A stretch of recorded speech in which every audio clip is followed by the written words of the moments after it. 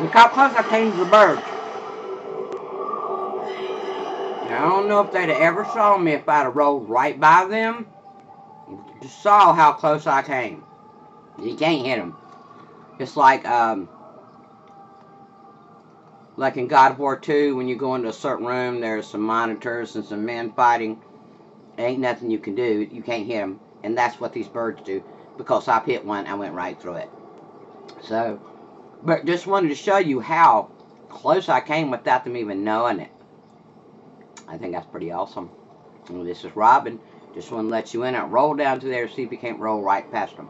That's what I'm trying to do without scaring them off. But I wanted to see if I could hit them. You know, or this would do anything. Pro I knew it probably wouldn't. But you never know with this game. So, like I say, we'll catch you later.